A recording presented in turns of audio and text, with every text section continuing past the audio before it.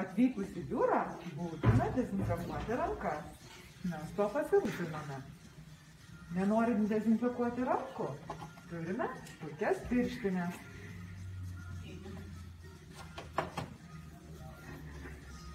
Mes jas užsidedame. Būtina prisitaikyti pagal dydį. Moteriams turime M dydžio, vyrams XL arba L. Štai pasiruošę apsipirkti.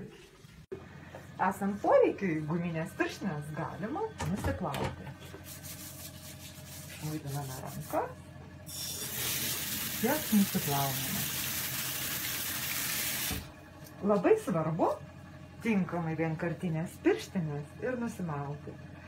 Paimame už kraštelio ir temdami mes ją išverčiame į kitą pusę. Kai jau turime nusimovę ir kitą pirštinę, galima ar su ta pačia už kraštelio paimti ir nusimauti. Ir tinkamai išmesti į šiukšliadėžę.